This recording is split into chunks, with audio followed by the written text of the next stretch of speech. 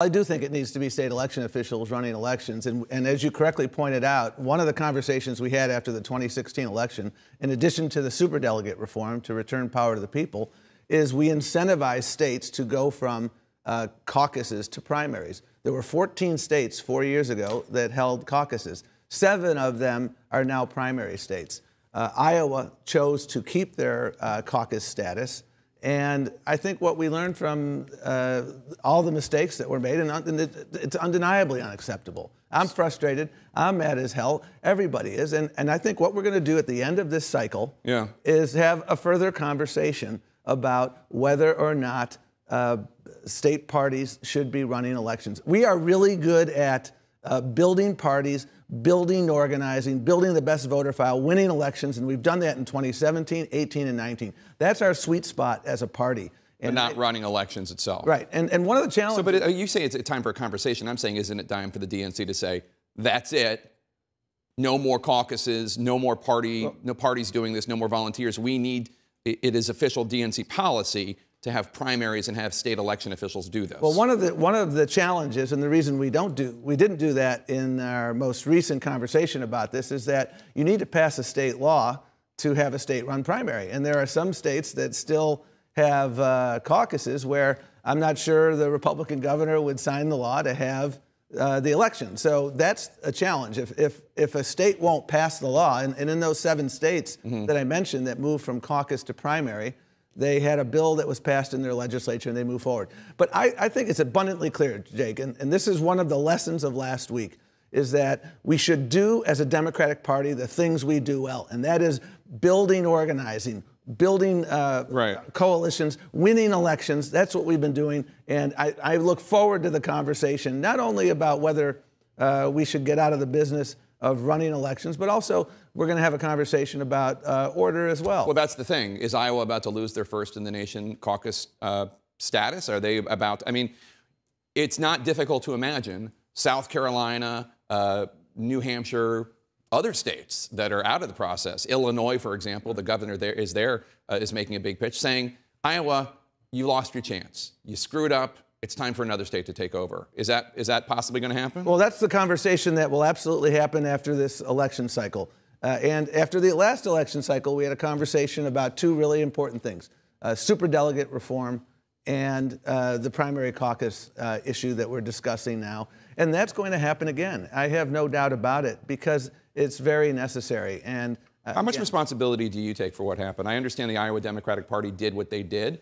Um, but the DNC plays a role. Uh, do you take any responsibility? Sure. Yeah, the, the Iowa Democratic Party runs the actual election. Our partnership with our state parties, anytime something goes wrong, whether it's something that's run by the state party or not, uh, we're all in this together. So that's why we had a team of people. I'm really proud of our team. I mean, team. the DNC approved the plan. Well, the, the DNC did a number of things in connection with the plan. They wanted to do a virtual caucus, Jake mm-hmm. uh, where people could actually vote. Uh, it's going to be uh, over the telephone, and we said no because we had cybersecurity concerns.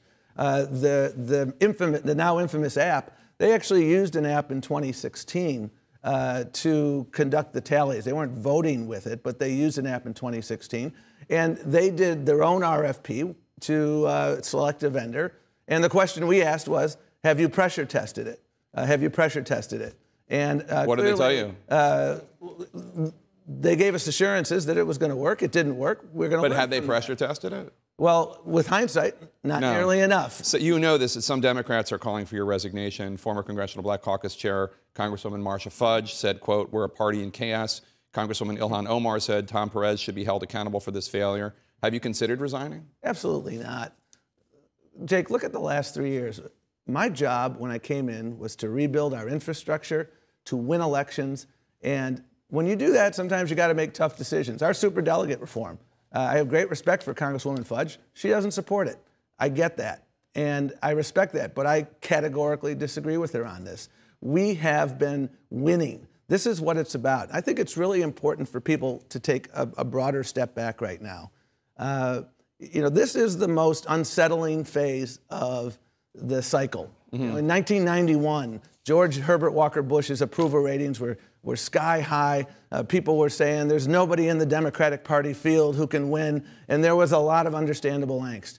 We're in a similar position now in the sense that uh, I don't know who the nominee is going to be. We're, Right. we're barely out of the starting gate. And the angst is uh, elevated because we have the most dangerous president in American history.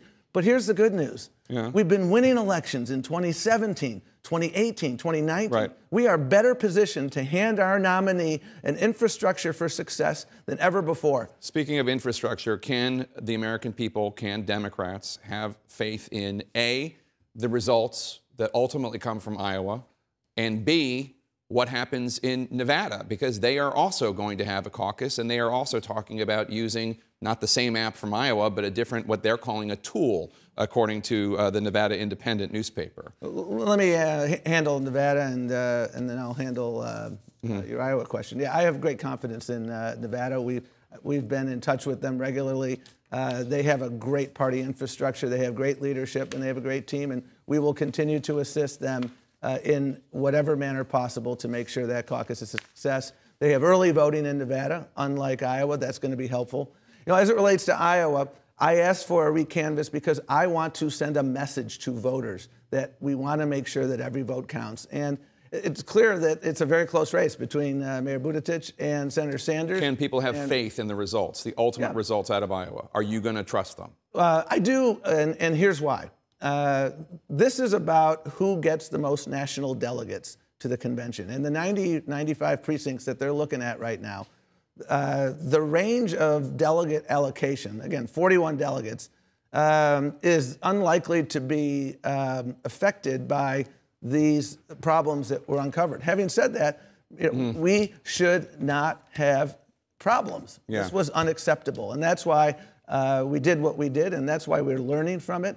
And you know, the, the good news here is that we are going to we're learning from our mistakes, applying them immediately, and uh, we're going to keep moving forward. And we're going to be talking about healthcare everywhere across America. All right. Thank you so much. DNC Chairman Tom Perez, appreciate your time, sir.